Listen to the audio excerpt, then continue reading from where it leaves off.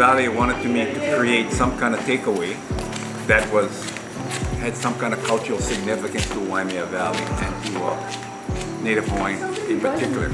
So I, uh, I got this idea of this particular takeaway, but I wanted to make it exclusive to Waimea Valley.